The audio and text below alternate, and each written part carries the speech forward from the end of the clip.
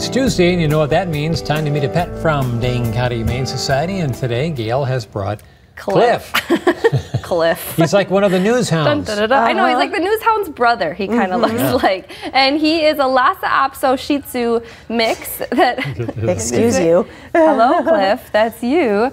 And he was found stray in the town of Sun Prairie um, not too long ago, and he was pretty. Pretty matted, um, didn't have any identification on him, and so we were able to take him in. He's been neutered. He's gotten a nice spiffy haircut. He is uh, adorable. ready to go. I mean, he's just a really lovable dog. We've had really good interactions when he when he's been out with other dogs. He plays really nicely with them.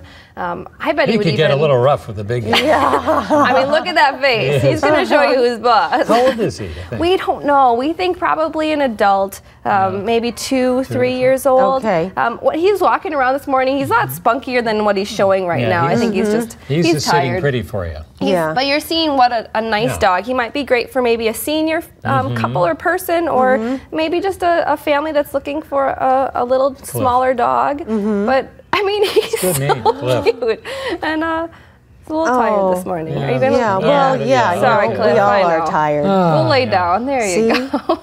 But Not all dogs that, need to be yawning. perky, honey. no, they don't. He's, So- and he's already. We think he's house trained, but um. Dude, I you mean, house trained? I can just let the leash down, and he just wants to hang out with us. Yeah. So Oh my gosh. how nice! I don't have to like wrangle the I dog this know. morning. How wonderful. He's a good boy, and he's actually he's an adoption guarantee dog, which Okay. means his adoption fee is a slightly higher than a normal dog's adoption fee because he's a highly desirable dog. He's a dog that people are looking for, and so he has a little bit higher adoption fee, but that allows us to be able to care for all of the dogs that needs need homes. Uh-huh. And sometimes some dogs take a little longer than others. So mm-hmm. what we have is this adoption guarantee fund to help all of the dogs. So his his fee is just a little bit higher, but it goes for the greater good. Absolutely. adopting everybody. Okay, quickly, Gail, last week's pet.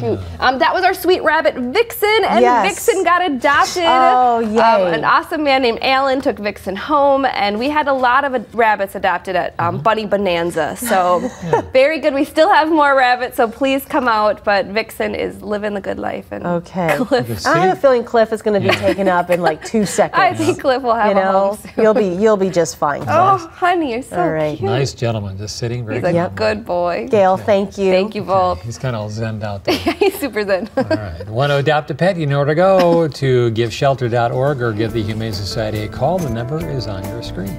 We'll be right back.